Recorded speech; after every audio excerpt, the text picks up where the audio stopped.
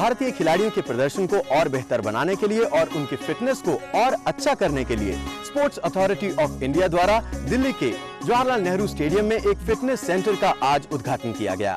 ये fitness centre आधुनिक सुविधाओं से पूरी तरह लैस है। तो आइए आपको दिखाते हैं इसके उद्घाटन समारोह के कुछ अंश।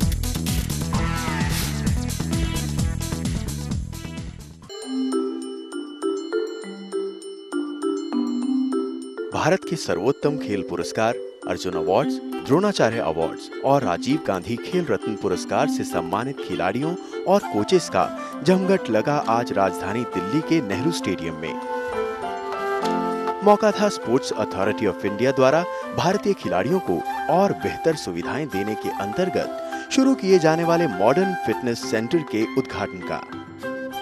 उद्घाटन की रस्म स्पोर्ट्स अथॉरिटी ऑफ़ इंडिया के director general Shri Ratan P Watal ने अदा की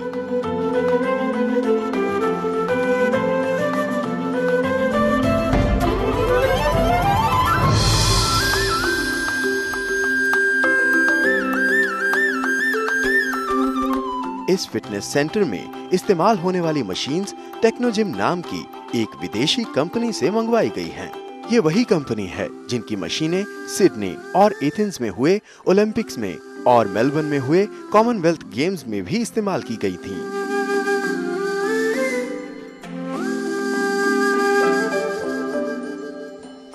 ये देखिए ये एक डिमांड आ रहा था हमको अपने इंटरनेशनल लेवल स्पोर्ट्समैन से कि फ़िज़िकल कंडीशनिंग और फ़िज़िकल फिटनेस के लिए आ, हमारे जो सेंटर्स हैं पटियाला में बेंगलोर में कलकत्ते में और बहुत सारे अदर सेंटर्स के अंदर कि एक तो आउटडेटेड सामान था, उसके अंदर इनकी फ़िटनेस ठीक नहीं नहीं हो पा रही थी।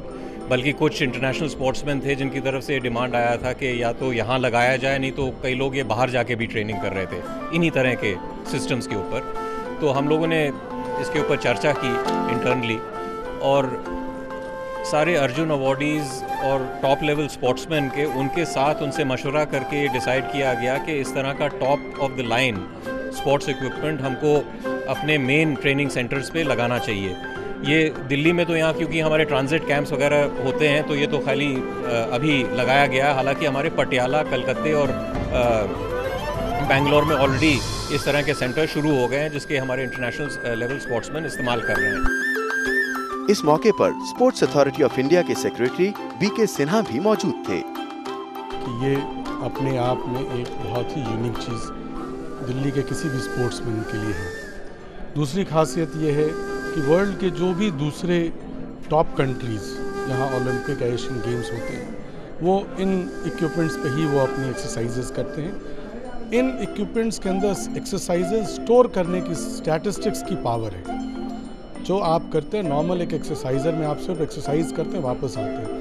ये एक्सरसाइजेस ऐसे हैं जो आपके एक्सरसाइजेस को प्लान करते हैं।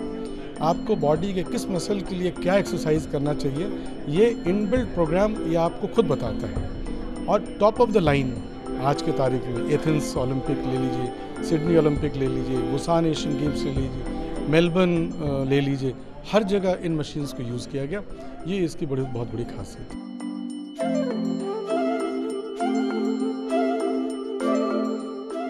ये फिटनेस सेंटर दिल्ली में खुला है। इससे पहले बैंगलोर में ट्रेनिंग कर रहे थे और वहाँ पे भी इसी प्रकार का फिटनेस सेंटर था। तो पहले जब हम फ़िज़िकल ट्रेनिंग करते थे फ़ील्ड में तो काफ़ी बहाने मारते थे कि हमें नहीं करने जाना। पर फिटनेस सेंटर खुलने के बाद ट्रेनिंग जल्दी ख़त्म करके फिटनेस सेंटर भागते हैं और इस प्रकार की ट्रेनिंग करने में काफ़ी अच्छा महसूस होता है। अवार्ड काफ़ी प्रेरित करेगा मुझे दोहा गेम्स के लिए और आगे जाके बेटर परफॉर्मेंस देने के लिए। और ये अवार्ड सिर्फ़ मेरी मेहनत की वजह से नहीं मिल रहा। ये अवार्ड सारे उन लोगों के लिए है, जिन्होंने मुझे सपोर्ट किया, मेरे माता पिता Indian Airlines sports authority of India sports authority of Andhra Pradesh national federation उन सबके सबके बिहाफ पे मैं ये अवार्ड लेना चाहूँगा और जिन्होंने मुझे काफ़ी सपोर्ट किया। Shikha Tandon am getting the Arjun award for swimming really excited about getting this award because for me it's recognition of all the hard work and support that I put in my coach my family and my friends and everybody around me who support me over the last fourteen years and getting it from the president is going to be just a bonus because well he's such a great personality so it's going to feel really really good tomorrow. लगता है कि भारत के star boxer अखिल को अपनी मनपसंद जगह मिल गई है और वो एक्सरसाइज कर रहे हैं अपनी मनपसंद मशीन पे। अखिल कैसा लग रहा है इन मशीनों पे काम करके? बहुत अच्छा है। इससे फिटनेस वगैरह और ज़्यादा इम्प्रूवमेंट होगी प्लेयर्स की। क्या लगता है कि कितना फ़ायदा पहुँचा सकती हैं आने वाले इवेंट्स में? इस तरीके की टेक्निक्स अगर यूज़ करते हैं हम फिटनेस के लिए तो। ये तो आने वाला समय ही बताएगा कितना फ़ायदा पहुँचा रही है लेकिन मुझे उम्मीद है कि काफ़ी इम्प्रूवमेंट होगी इससे। आपने कॉमनवेल्थ गेम्स में गोल्ड मेडल जीता साउथ एशियन गेम्स में गोल्ड मेडल जीता तो आगे की कुछ तैयारियों के लिए कुछ खास? बिल्कुल मंजिलें अभी और भी हैं। इसके अलावा मैं चाहता हूँ मैं रुकूँ ना मैं चलता ही रहूँ जीत कर दो हज़ार दस कॉमनवेल्थ गेम्स भी खेलना है मुझे जो इंडिया में हुआ. I'm getting the Arjun Award for table tennis. And um, I think uh, के हाथ से अर्जुन अवार्ड लेना एक बहुत बड़ी बात है and it's a kind of recognition और अप्रिसिएशन जो हम सभी खिलाड़ी को और ज़्यादा मोटिवेट करेगा और स्पेशली मुझे बहुत मोटिवेट करेगा और आगे और और ज़्यादा मेहनत करने के लिए और बेहतर प्रदर्शन करने के लिए।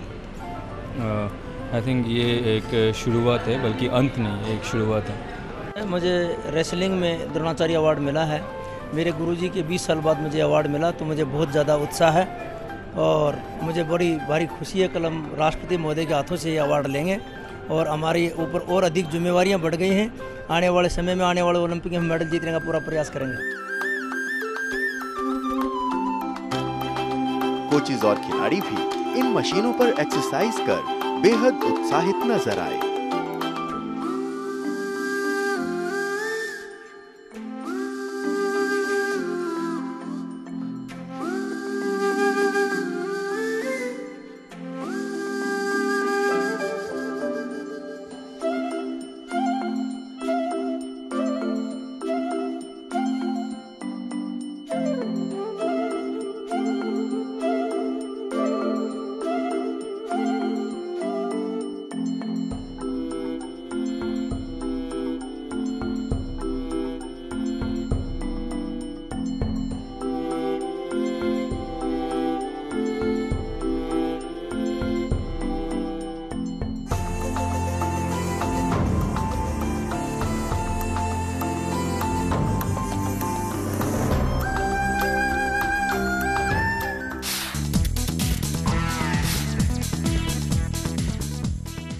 तो देखा आपने?